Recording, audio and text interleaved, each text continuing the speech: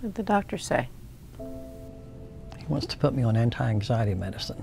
I told him I'd rather try to handle things without a prescription.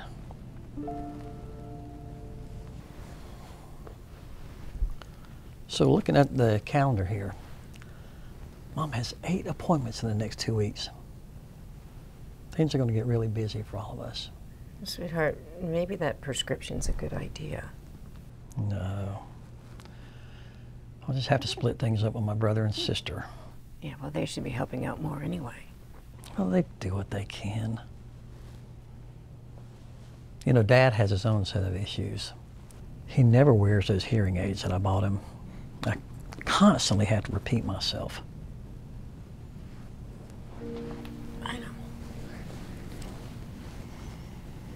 It's just too much. It'll work itself out.